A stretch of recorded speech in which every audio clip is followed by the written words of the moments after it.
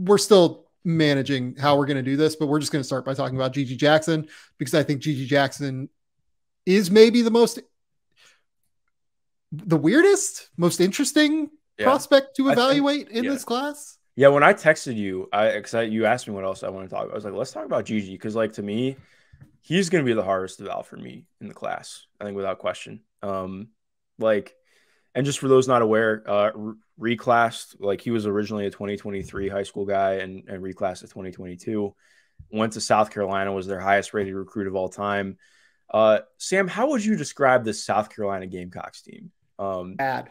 Yeah, I will say right now they play Georgetown uh, this coming week, actually, in what will be probably the showcase of the two worst teams in in high major basketball right now, um, other than Florida State, which that's I don't want to.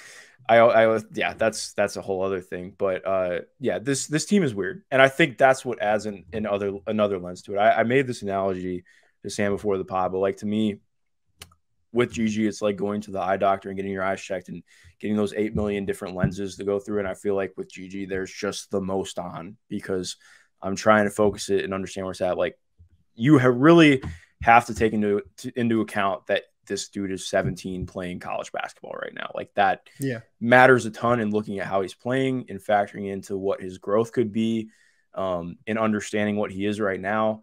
Um, and then you also have to take into the, to account like I to me, this team really isn't built in a way that maximizes what he could be. Um, or, like, or maximizes good basketball. Well, yeah, that too. I mean, yeah.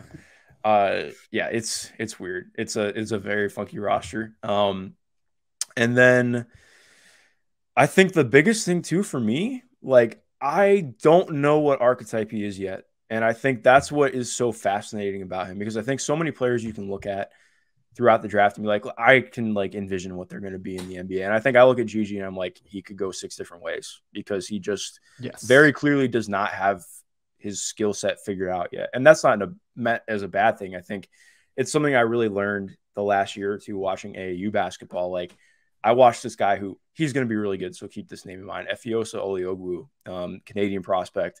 He is going to be fantastic. But I watched him play three games in one day, and he looked like a different player in every single game because he was a sophomore playing playing up in in 18s. Um, I mean in 17s, and I think that's how I feel watching GG. Like this is a guy who like you can see the outlining of of a lot of different things, but he's still kind of testing the waters and figuring it out. And it's just in a really, I, I think what I'm going to struggle with is trying to under like I, I don't know like trying to parse through what I think I most see for him. Um, like I think that there have been some ideas from people that he could be like a very real shot creator, and I am I'm probably not there yet. I think that there are some there are some ideas of shot creation, some things in there that are really intriguing, but um, yeah, I, so, so I mean, let's, I'm, I'm let's interrogate yeah, that. Yeah, yeah let, us let's, let's talk about that a little bit. So I, I just kind of want to run through GG's situation a little bit more simply, right? Yeah. So South Carolina's team, they are a disaster when it comes to turnovers. They're turning ball over on 21.4% of their possessions. They can't really shoot. They shoot 32.3% from three, and that's with GG shooting 40% from three right now. Chico Carter and Jacobi Wright are really the only guys around him that can even slightly shoot. Like they're both over 40%, but nobody else is over 30% right now. And guys like Hayden Brown, Meechie Johnson, they take them, but they just don't even get treated as shooters out there. So essentially, when GG is out there with both Carter and Wright, it's not as bad. But when he's out there with one of the two, which he is like a not in not a. Uh, I would say he's out there a fairly substantial amount of time with one of the two, not both of the two. Uh, it becomes very difficult because teams just condense on him and constantly uh, attack his dribble when he tries to drive or try or like they they just kind of are capable of making life very very difficult for him in terms of spacing.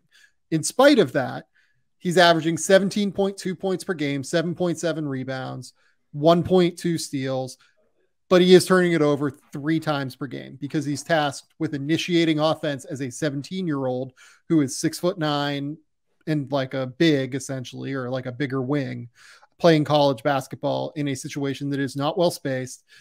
He is also a guy that has a 52.8 true shooting percentage right now, in large part because those guards don't get him early looks. So I watched mm-hmm. the Furman game this morning, and there was a really great example in the first half where he beat his man down the court. He was able to kind of backspin off of him on the block and then completely seal him up to the foul line Gave his guard oceans of space to entry the ball into, and the guard threw it out of bounds. So there's very little that is easy for GG if it's not just a reversal into a catch and shoot three. Uh, those are really the only times he gets easy shots. So now this is where let's interrogate the shot creation, right? Because that's actually something that like I think we have okay reps on right now. Uh we have like examples of him going around ball screens, of him ISO driving. Like we've seen a decent amount of stuff with him actually being able to drive and do things. So what do you think of his hip flexibility? Because that's where I struggle with him a little bit. Yeah. I think you bring up you, a really great point because this is like that's one of yeah. the biggest things right now.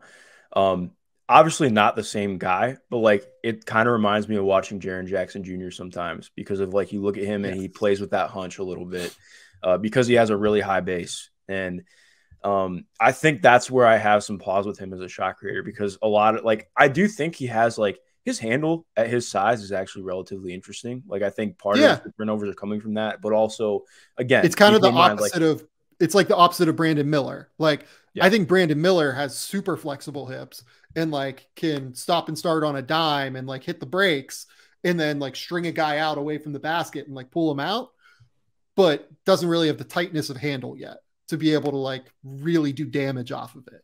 Mm. GG, I think doesn't I don't know if he has that like flexibility to be able to foster like real creativity off the bounce, but he does handle the ball well. Like he can actually like control the ball and like keep it like relatively tight. Yeah. Yeah, like he's had some like some decent stuff coming off ball screens, but uh, again it's like if he gets funneled any direction other than straight, like he has to pick up the, uh, pick up the ball, um, or he just doesn't yeah. really get any kind of paint touch. And again, part of that is the spacing too.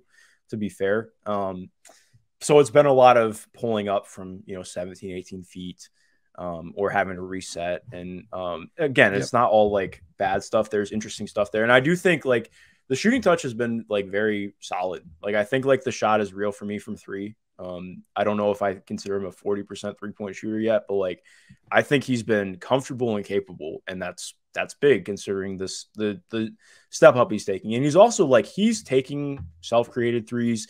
He's taking very deep threes. Um, like it's not just like I'm taking this catch and shoot from the corner. Like I do think uh, there has been some variety in a shot too. Like it's not fully off movement or anything, but I do think that there's been reason to be pretty intrigued by a shot.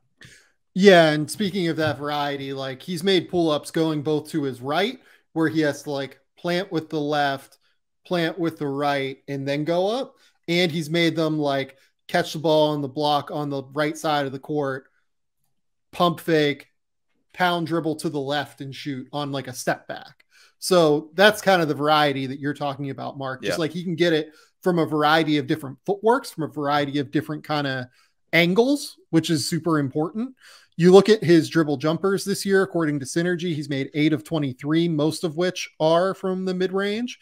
Uh, but if you look at his catch and shoot numbers, he's made eight of 21 of those, and all of those are threes. So he has a 57.1 effective field goal percentage on his catch and shoots, which is really good. And I don't know about you, but like if guys don't close out on him hard, I actually feel pretty good. Like I, I feel like he's gonna make it most yeah. of the time. Like it's pretty clean. Like if he can get, he mostly takes them off the hop. Like if he can get into his hop and there's no impediment coming at him, I think he's actually pretty good with it. Yeah, no, I'd agree with that for sure. Um, and he has like he has a good release point too. It's not like he's shooting it from from his shoulder. Like it's very much coming uh, on a good release point. I like where it's at. Um, as for like, and I think too, like he gets good height on his just actual jump. when he's shooting from the mid range Yep. as well. Um, I think what's going to be interesting too, like the drive stuff, I've actually been pretty encouraged by us finishing through contact, which has really stuck out to me. Again, with him being 17 years old, they've played like Colorado State is a they're not a big team, but they're pretty physical. They're still a very Yeah. good team. Um, obviously they lost David Roddy, but I would they're going to be a good mid major team this year. Um, like Clemson had actually did give him some issues. I can't remember the name of their uh, older forward, but he gave him some issues down the stretch. But like point being, like PJ Hall. yeah, yes, PJ Hall. And he's had like some real moments of finishing through two or three guys. He had like a really nice Euro step in the in the Clemson game. Like again, it's all like it's not consistent. Like I think the finishing through contact's been consistent, but the way he's getting there is not. Like you're still kind of piecing that together. But I think the allure of a really intriguing face-up player is there. Um, and just like having some utility. Um, where are you at with the passing though? Yeah, that that's actually what I was going to ask you. Is just like I don't even know that it's passing. It's more like because it's almost not his role. Like his Yeah. role is to go in and score. I feel like it's more like processing to me. Yeah. I feel like he doesn't process well when he gets faced with doubles, and I feel like if someone digs at him, he kind of panics, right? Yeah. Because again, he can't really change direction. He can't really stop on a dime super well, and this is where like him being 17 and being the like number one option on a SEC team, this is where I think the evaluation gets super hard. Yeah. Because you want to believe that these guys, as they play more basketball, especially super high level basketball like GG Jackson is being thrown into right now, are going to improve their poise. They're going to improve their processing ability there's you know just multiple examples against the you know, I, the Furman game is stuck in my mind because I literally watched it you know an hour before we uh, started this, but in the first half alone, like there was one play where he was on the left block, caught the ball, his man is kind of up on him high a little bit, and then a Furman defender comes around the backside and tries to go for the steal, and he feels it late and kind of panics and then just like throws a pass one handed and it gets picked off.